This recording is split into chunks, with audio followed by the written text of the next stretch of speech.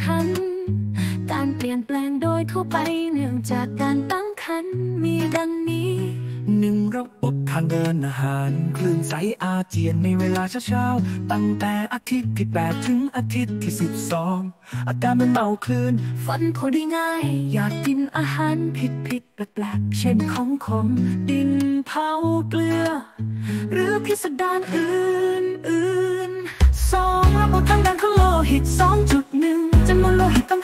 95เปอร์เซ็นต์แต่เป็นน้ำมากกว่าเม็ดโลหิต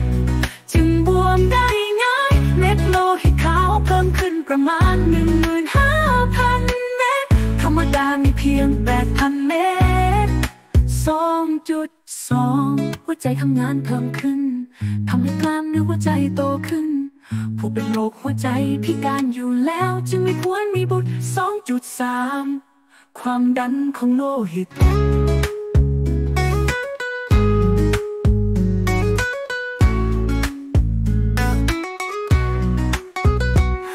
สามระบบทางเดินหายใจมดลูกตั้งว่าขึ้นไปหายใจลำบากเราต้องทำงานมากขึ้นเหนื่อยง่ายฉะนั้นผู้เป็นวันโรคจึงมักอาการกำเริบ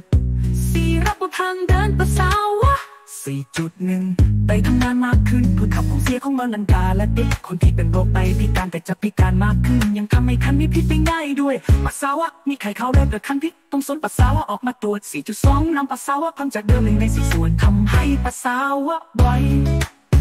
ห้าการเปลี่ยนแปลงเกี่ยวกับระบบประสาทอาเจียนในเวลาเช้านิสัยใจคอตรงกันข้าม พูดอะไรไม่แน่นอนทำอะไรไม่ใครคิด